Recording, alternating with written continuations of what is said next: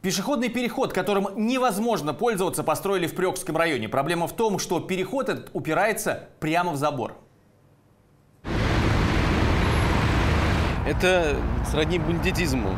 Неудобно переходить в тротуар прям напрямую, а потом в кустики и деревья. Нелогично сделано. Если идти по нему, потом обходить вот там, это тоже как бы лишняя задача. С детьми с коляской тоже неудобно. То есть как-то неразумно. Я живу вот в этом доме, и как бы то, что сделали пере... пешеходный переход, мне от него не плюсов, Одни только минусы. Вот смотрите, мы все идем рядом. Мы никогда нему... Вон, смотрите, вот сейчас вот мужчина, женщина прошла. Его надо было сюда поближе сделать, а его не сделали.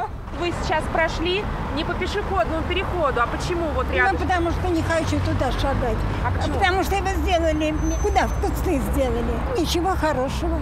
Это и небезопасно, и налицо факт э, некачественно выполненной работы. Центре организации дорожного движения сообщили, что данный переход был спроектирован, утвержден и построен по просьбе местных жителей. Удивительно, что ни на одном этапе проектирования, утверждения, строительства ни у кого не возникло вопросов. А почему переход упирается в забор?